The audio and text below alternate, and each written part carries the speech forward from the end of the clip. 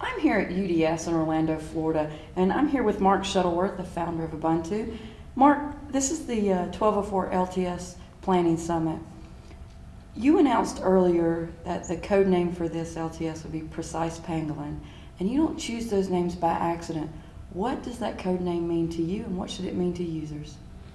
Well, precision is one of our core values, and uh, this is an LTS. So it was just a unique opportunity to put those two together and, and just say it exactly like we mean it. Um, it didn't. It wasn't easy though. It took me longer to pick the name for this one than I think it's taken for, for any other.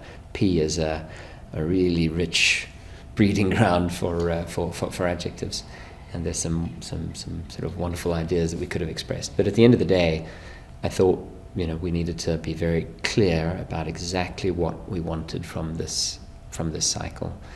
Um, the dreams and aspirations of uh, of you know a huge community of people hinge on this release, both you know with with our mission to bring free software to a human audience, and also in the in the mission to to, to make free software um, on the enterprise, in the cloud, on the server, um, available on you know profoundly different terms than, than it is today.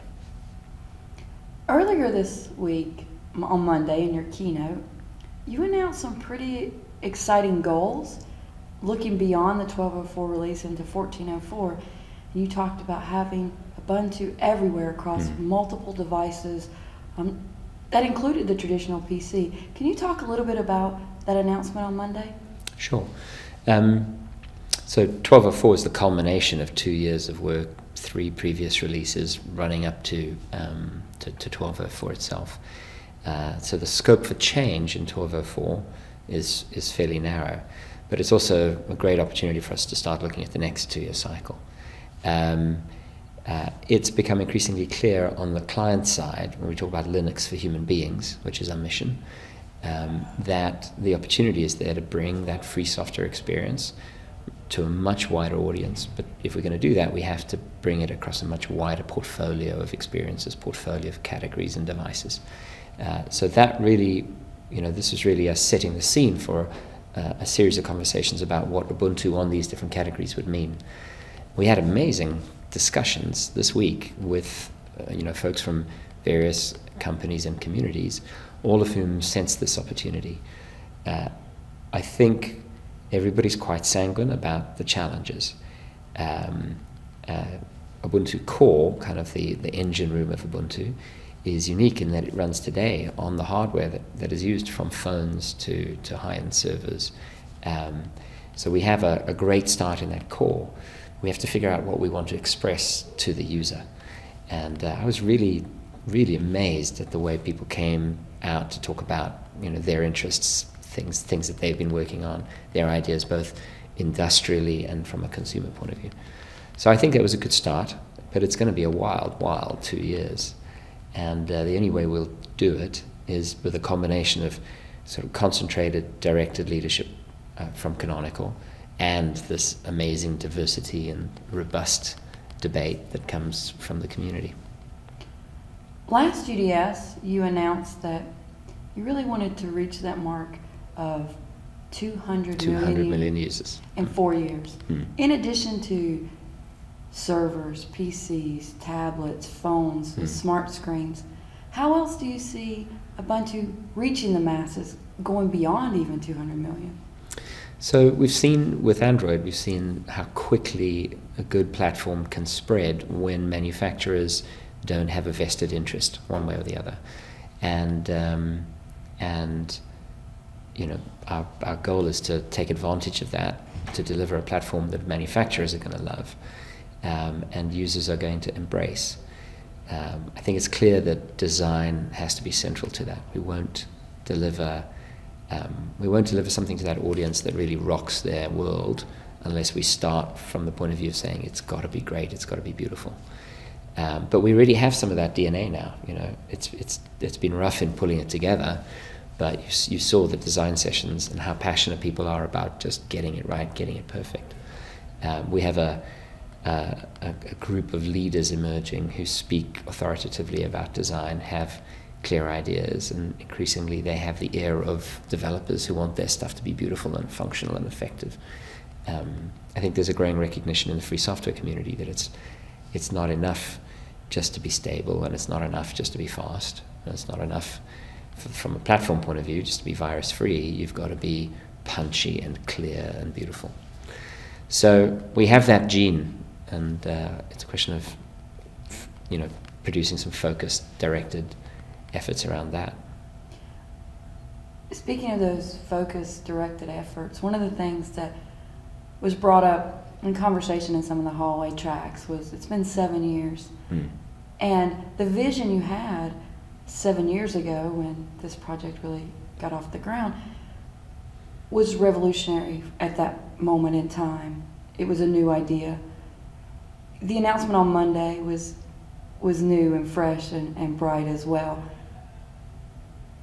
what do you like when you look at that vision from from where you saw it seven years ago to where it is today to where it will be maybe in another seven years do you think the vision you have right now is as clear as, and concise and precise as what it will be say five years from now like what do you think ubuntu will be five years mm. from now um, so seven years ago when we kicked off the project, it was on the basis of a view that the economics of software would shift. The economics of software would shift to services, and therefore, free software would have a really important role to play. Um, if I look at Android, you know, it is exactly that. It's a free software platform um, backed by a service portfolio. And so the real question for Ubuntu and for, for, for you know, more broadly, all of GNU Linux um, is to the extent that we aspire to be a platform that human beings use every day, whether we can whether we can also deliver that that vision, which is a free software platform that's you know highly functional, highly usable, backed by a portfolio of services. Uh, in Ubuntu, we have the elements of that. We have Ubuntu One as a service framework, which other people can take and run with and use. We have Unity as a as an interface framework, which other people can take and evolve. Um, and we have me and the rest of Canonical totally focused on, on, on delivering that. And I think that needs to remain our focus. Um, the, the, technology platforms are going to change dramatically. Uh, um, what, what should be consistent throughout all of that is the spirit of the community, which you know has this singular mission and has this, I think, very high class way of working you know, internally with itself, bringing, attracting new people and promoting those who, uh, who, who, you know, deliver the goods. Earlier this week, another announcement was made in addition to your keynote and what you envision Ubuntu being everywhere, and that was Ubuntu um, with HP's Moonshot project. Yeah. How important is that going forward um, to Ubuntu? Well, I think the Moonshot initiative is part of um, one of these major um, shifts that's happening in the data center. Um, and the shift is towards uh, parallelism rather than sort of thread thread focused performance uh, or reliability. Um, parallelism gives you both performance and throughput, but does it in a way which tolerates um, you know wildly different architectures, wildly different um, uh, levels of reliability in the individual node. people are taking data centers and, and, and, and re envisaging them as these um, as, as, as highly dense clusters of you know tens of thousands or millions of, of nodes. Um, so Ubuntu fits beautifully into that. The same reason that Ubuntu you know works so well on the cloud. It's really lean. It's really tight. It uh, it uh, is very you know economically really efficient. Um, it's enabled on all of the hardware that people are considering for this. So I think that bodes very well. You know, whether it's x86 or ARM, uh, it's going to be um, intensely dense, and it's going to be massively parallel, and uh, um, the individual performance or the individual reliability of any individual part isn't nearly as important as the economics and um, efficiency of the whole. In that world, uh, which is the moonshot world. Um, in that world, I think Ubuntu has a tremendous role to play.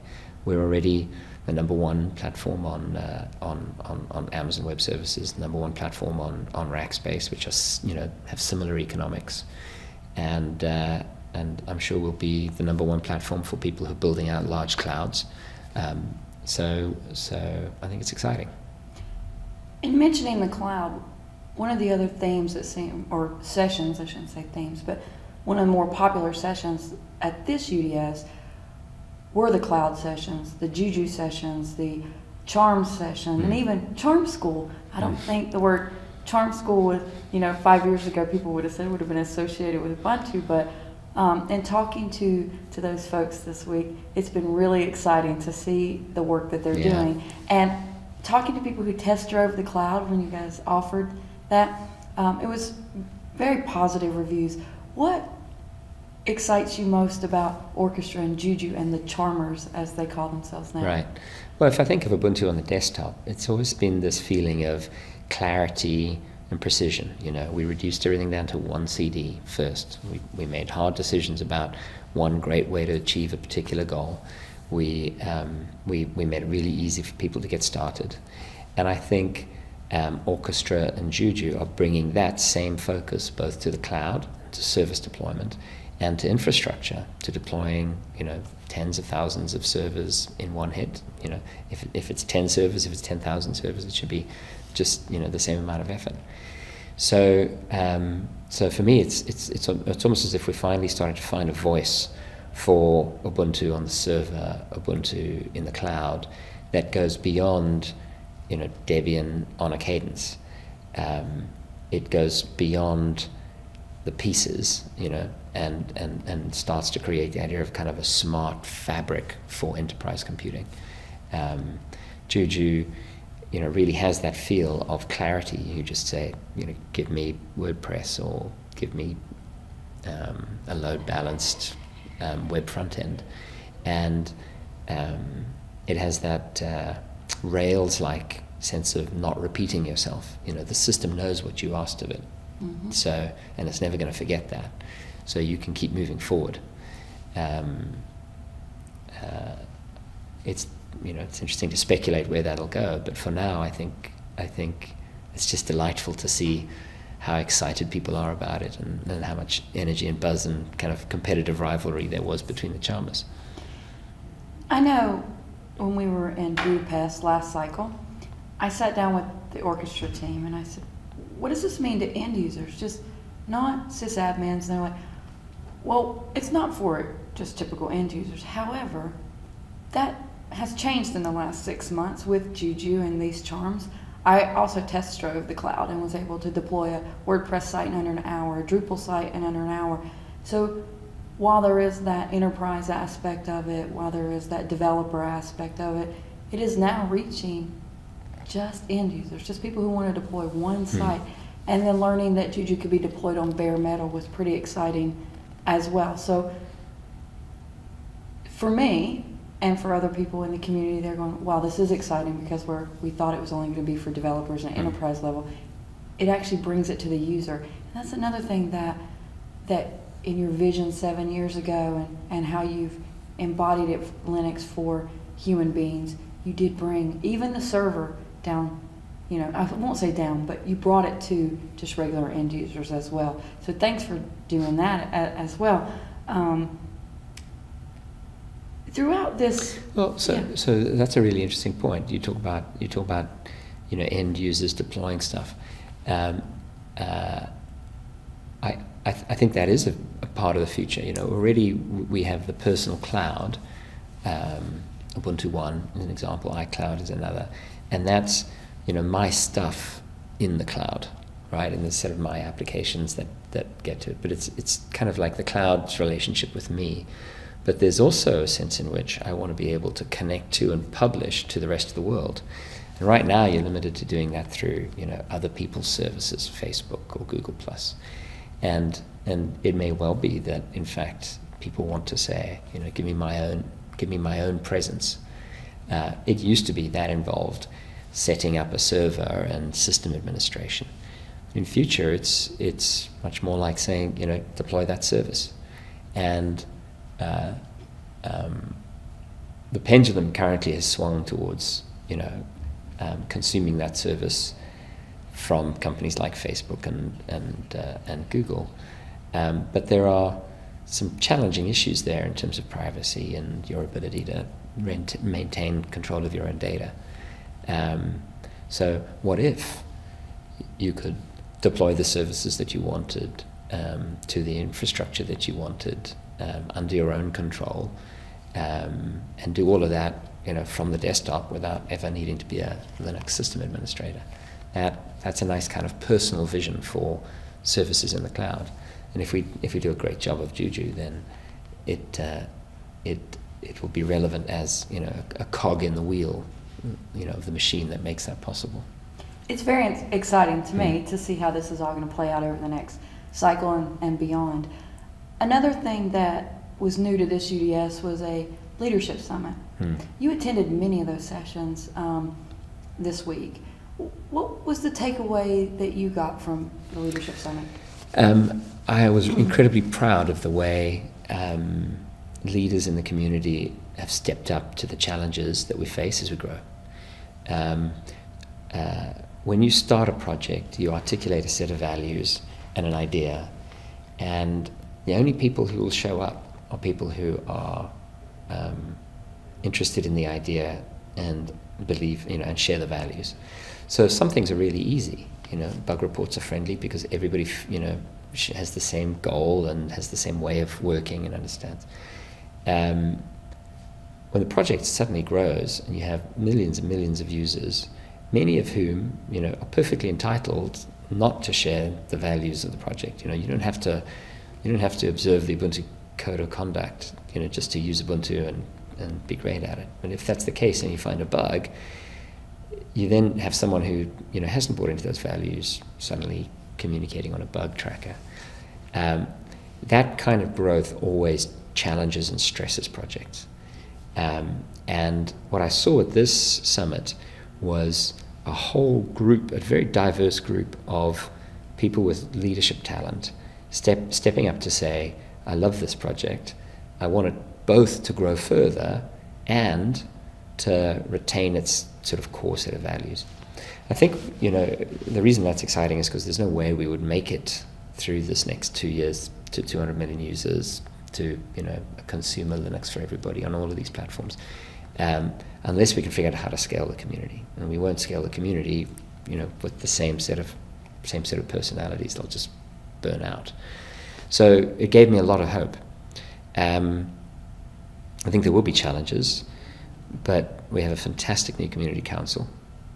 We have a um, a lot of uh, concentrated, organized energy. And I think we have the support of enough people to give it a go. I think you're 100% right. Um, on a side note, um, in reading some of the uh, news sites this week after you made your announcement, Steven Vaughan-Nichols compared you, said that you were the closest thing Linux had to what Apple had with Steve Jobs in terms of your vision. What do you think about when people compare you or say that, that you're, you're our visionary for Linux? I think it's dangerous to put anybody on a pedestal.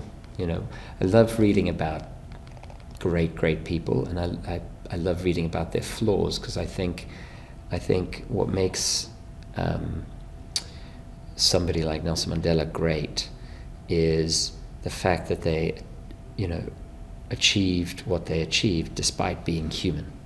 And I think often we, we, we look at someone and we, we say, well, they're great. They must be somehow special. They must be somehow better than everybody else. They must be somehow better. The reality is, I think everybody, you know, you know, has their vulnerabilities, their weak points, their, their challenges. And, and uh, um,